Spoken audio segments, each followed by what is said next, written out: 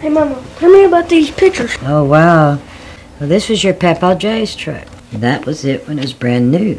And he left that night when I went out and told him bye and hugged him as usual and come back in the house. And when I come back in the house, I just got a real uneasy feeling. On a long and lonesome highway just south of Birmingham with a load of steel on 18 wheels was a tired truck driving man. A long, hard week and not much sleep had began to take its toll. They said he never hit his brakes as he left the road. Waiting back in old Kentucky was his precious family.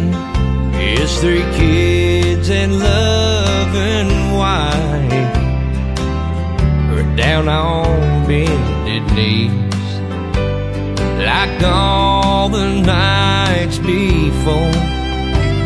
They asked God to keep him safe. That night, their prayers were needed at mile marker 98. It was 18 wheels and Jesus that went flying off that road over the hill into the trees.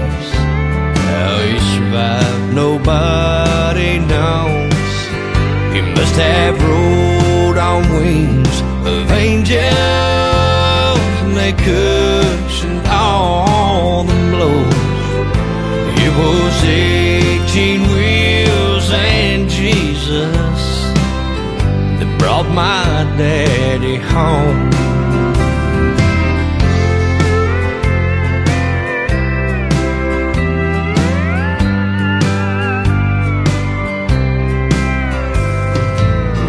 You know, to this day, I still remember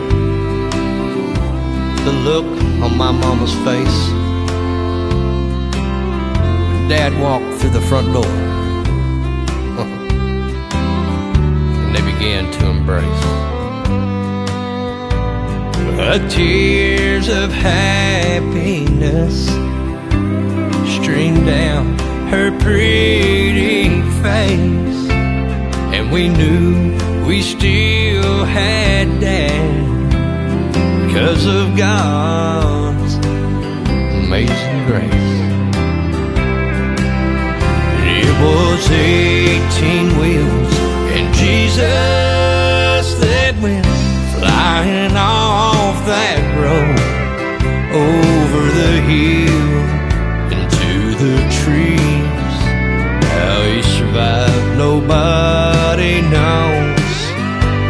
Have rode on wings of angels, and they cushioned all the blows. It was 18 wheels and Jesus that brought my daddy home.